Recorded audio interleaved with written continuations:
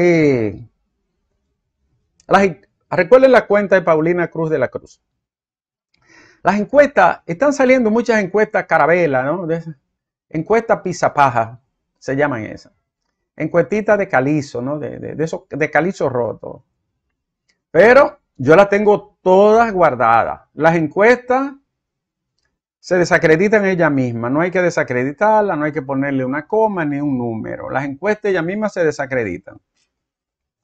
Han salido un paquete de firmas, fantasmas, fantasmagóricas, dando números de lado y lado, de la oposición, del gobierno. Y han salido otras que son más creíbles. Ahora bien, eh, esas encuestas que están saliendo y dando números díscolos, esperen que yo las voy a mencionar todas, habladores, mentirosos, porque todo está ahí yo la tengo guardada. No vuelvan a salir por mentirosas, por falsificadoras, por falsas. Porque todos los que están publicando números distorsionados y falseados en, su conciencia y en los números reales saben cuánto tiene, pero quieren engañar a la gente. Hay países donde eso es delito. Entonces, eh, yo voy a esperar, ¿verdad? Que, eso ocurra. Yo, yo, tengo una percepción, ¿no? Yo tengo una percepción, como tiene todo ser humano, de qué puede ocurrir.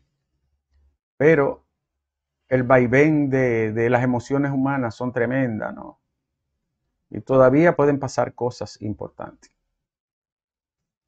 Eh, estas encuestas que están dando brinco se desacreditan solitas. Las encuestas y la mentira. Engañando a tratando de engañar a una población que no es vaca ni es chivo, demasiado falsedad. ¿Cómo yo me, atrevería como periodista a comentar una vaina que yo sé que embuste? Yo, la, yo se la publico y le enseño.